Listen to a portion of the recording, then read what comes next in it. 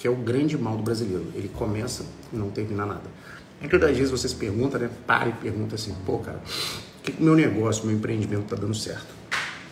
Por que o meu estudo não está rodando? Por que não está funcionando?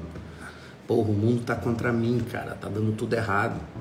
Galera, esse ano é um ano 2023, é um ano que literalmente você já ouviu a frase, né? Galinha que acompanha pato morre afogado. Esse ano, se você não acompanhar gente boa, se você não for competente, se você não for acima da média, se você não sair das sombras, esse ano você se fode. Por que, você se fode? É um ano de recessão, é um ano pesado financeiramente. É um ano que, se você estiver estudando, vai ter muita gente concorrendo para os concursos de performance que você quer fazer. Se você está na iniciativa privada, é um ano que vai muita gente ser demitida. Então você tem que sair de trás do balcão e se apresentar e apresentar sua competência. Se você está empreendendo, você precisa dar um produto melhor, entender bastante de marketing. Se o seu marketing é offline, ok, mas você tem que entrar na internet, galera. Todo mundo tem que entrar.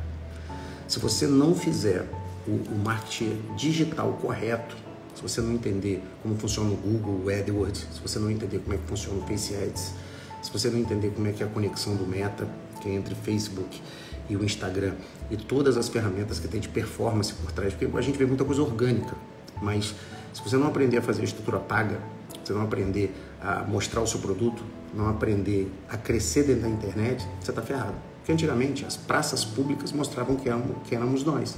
Hoje não, hoje é tudo na internet. Vocês já repararam? Coloca no Google e pesquisa.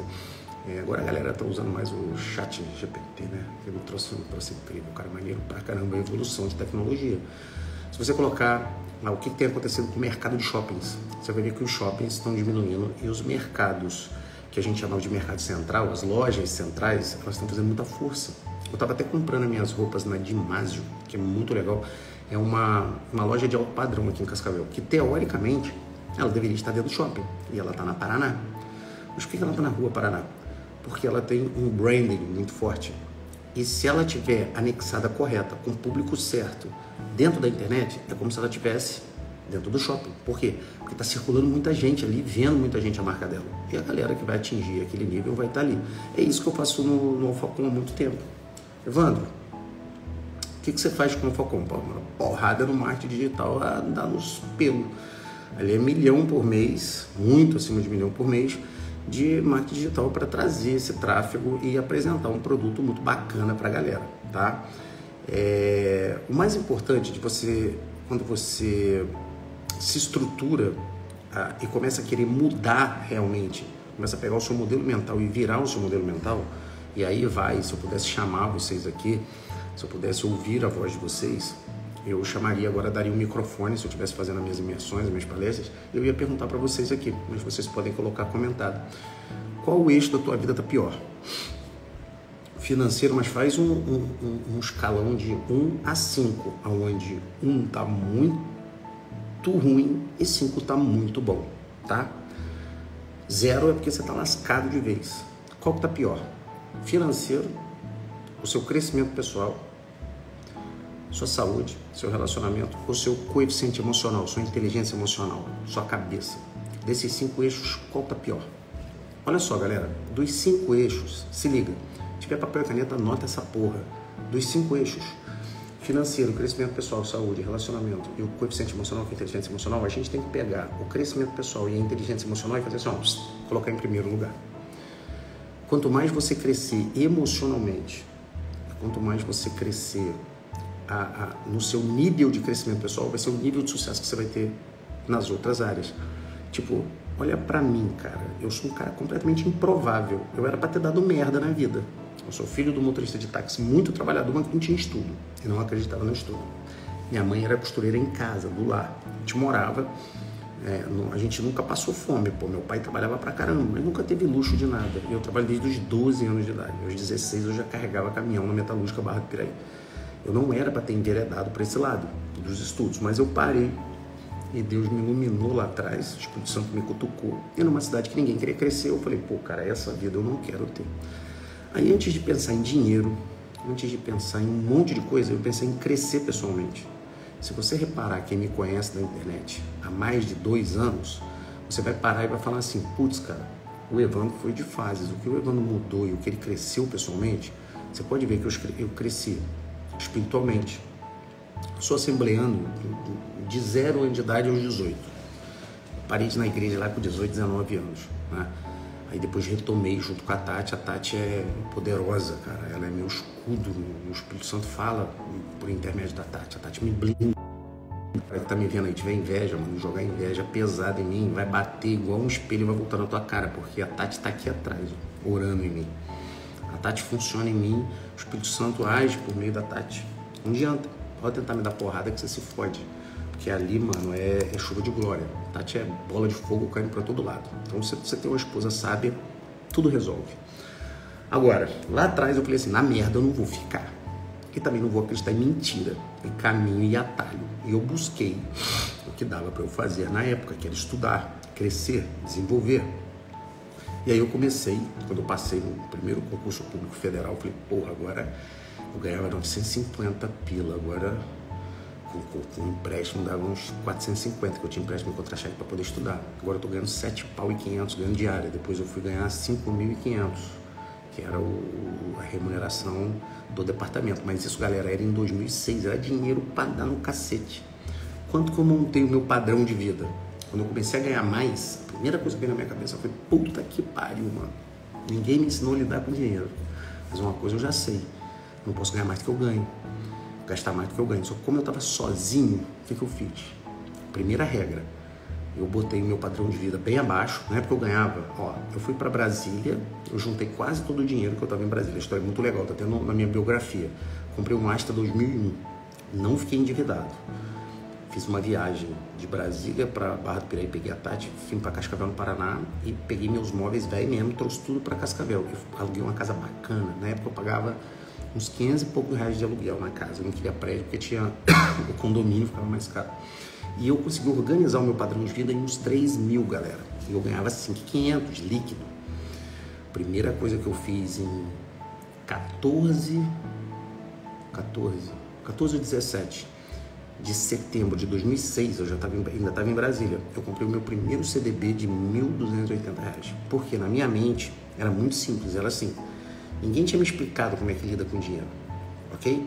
E eu tinha ah, eu ganhava assim, eu comecei a ganhar assim e eu meti o padrão de vida aqui. Então sobrou isso aqui. Quando sobrou isso aqui, eu fui pesquisar, pô. E eu descobri que a poupança era a pior merda, porque a inflação comia a poupança. E como eu estudava muito matemática, estatística já na época, estatística até nem tanto, estava dentro do conjunto de matemática e raciocínio lógico, né? Eu gostava muito de juros simples, juros compostos, eu gostava de brincar com números. Eu nunca fui bom em números, então eu aprendi a ficar bom em números. Eu falei, putz, cara, essa porra aqui, eu, com o mínimo de conhecimento eu vou fazer isso. Então eu ganhava, comecei a ganhar aqui, eu ganhava aqui, passei para cá. E para que eu vou subir o meu padrão de vida daqui para cá? Eu subi para cá, pô, sobrou isso aqui. O que sobrou comecei a guardar. Eu falei, como é que que tinha investimento? Ah, eu, eu, na época eu recebi pelo Banco do Brasil, eu abri a plataforma do Banco do Brasil não tinha, não tinha aplicativo ainda não, hein, galera? Esquece esse negócio de aplicativo, essas facilidades, me ver na internet alguém falando com você, não tinha essa porra não, tá? Alguém confiável, porque eu sei que vocês confiam em mim, que eu entro na sua casa, no seu coração, e você sabe que eu sou de verdade, pô. Quem é de verdade sabe quem é de mentira. Eu passei em 12 concursos, é só botar meu nome, tá lá. Se você botar meu nome, Evandro Tencourt Guedes, tá lá meu nome na, na, nos maiores concursos aí da, da carreira que eu escolhi, tá? Passei na Polícia Federal, na Rodoviária, no Departamento Penitenciário Federal, passei em tudo que dava para passar.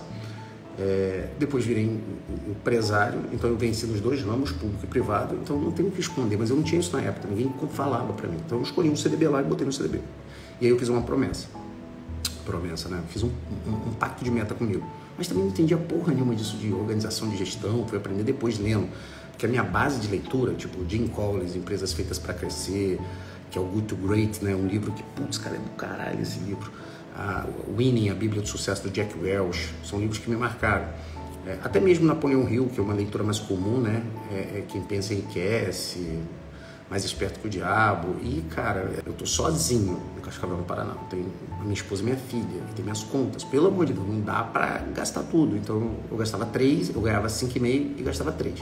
Sobrava uns dois e meio. Aí, a primeira coisa que eu fiz foi juntar, eu, eu lembro que na época eu juntei 15 mil reais naquelas aplicações que dava para você tirar a qualquer momento. Por quê? Porque se eu tinha, se, eu ganha, se o meu padrão de vida era 3, eu ganhava 5,5, eu sempre pensei que um mês podia dar merda. Bater com o carro, acontecer alguma coisa, ter um gasto extra, aconteceu alguma bosta. E eu não queria tirar o dinheiro que eu botasse na aplicação para resgatar, porque tem os, os, strikes, né? Você paga um imposto muito alto, quando você tira, você paga 22,5% de imposto se você não deixar no prazo correto. Tinha as regras que eu ensino todo mundo hoje, que é a regra mais simples do mundo de fazer, porque eu fiz lá atrás e funciona até hoje. Eu deixei o fundo de reserva, ninguém me avisou que o nome era fundo de reserva, mas eu já tinha feito fundo de reserva. Aqueles 15 ficou parado lá, nossa, uma mais de ano rendendo lá e eu podia tirar a qualquer momento, mas eu ficava ali, falei, pô, se der alguma bosta, eu tenho aquele dinheiro ali. E o restante eu aplicava em CDB. Primeiro era só renda fixa, galera. Eu tinha um medo de ação. Fazia não. Depois eu descobri que dentro do. Olha só que interessante, não tinha aplicativo, não tinha esse negócio, nem, nem falava em day trader, que diga-se passagem, eu acho uma furada, né? Depois eu explico por quê.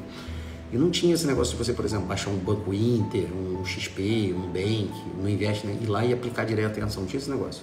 Não dava para fazer. E se dava, era muito complicado. Até dava, mas era bem complicado. Você, você tinha que se classificar como home broke. Nossa, dava uma dor de cabeça. Aí o que, que eu achei melhor? Como eu estava estudando muito para passar em um concurso maior, eu já tinha aberto o servidor concurso, já estava empreendendo. A ideia de renda extra, eu nunca tive uma renda só.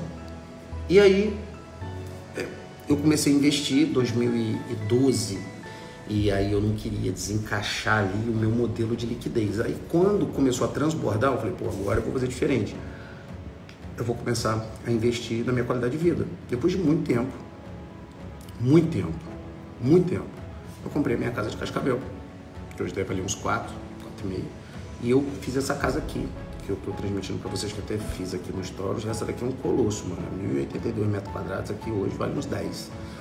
E eu dei confortabilidade para minha família, mas eu me agendei do começo ao fim. E é isso que eu queria colocar na cabeça de vocês. Vocês viram a história que eu construí do começo até agora, o que, que eu quero de você? Eu quero que você não acredite em falsos profetas. Eu quero que você pare de acreditar em coisas de pessoas te incentivando sem método, processo e sem ter passado as dores.